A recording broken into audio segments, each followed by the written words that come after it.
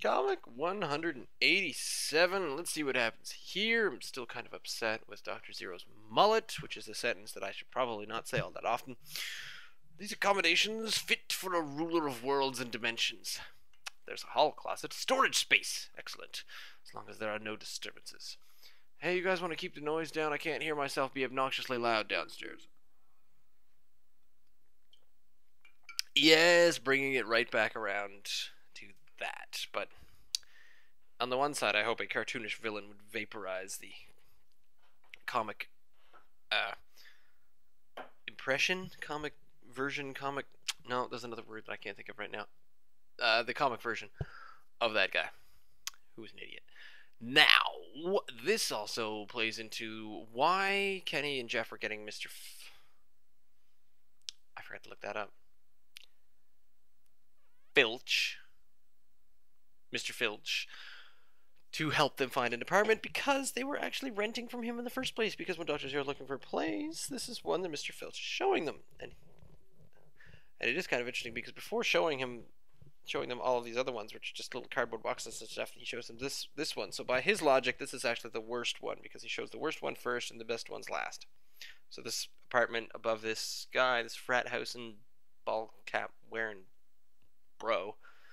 Oh, I'm gonna use that as an insult. Yes, I certainly am. He's such a bro.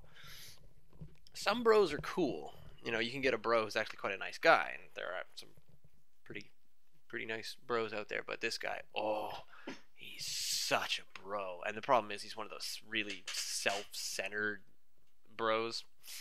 Ugh. I don't need to describe that too much. Because you all know what I'm talking about. And I was talking about Mr. Phillips finding the environment. So, yeah, living above above this bro is worse than living in a cardboard box. I think that's kind of what I'm saying. I want to draw the attention because I haven't done it just yet to the, bros sunglasses. Now let's talk of how I drew that.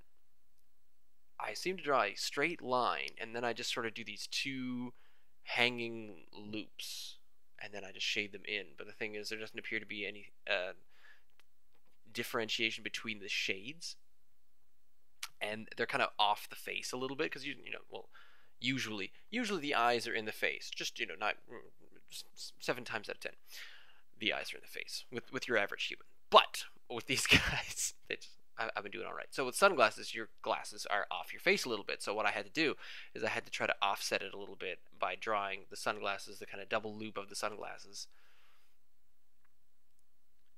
Just uh,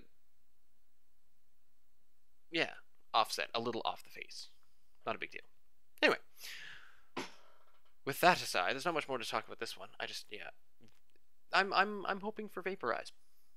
That's uh, that's my hope. Forgetting again that these are my comics and I drew them in the first place. Oh, I'm not supposed to mumble because I mumble in my other videos. So yeah, I guess that's it. So uh, comic through uh, 300. Oh, don't I wish 188. We're coming up on 200. That's not bad. 188 will be tomorrow.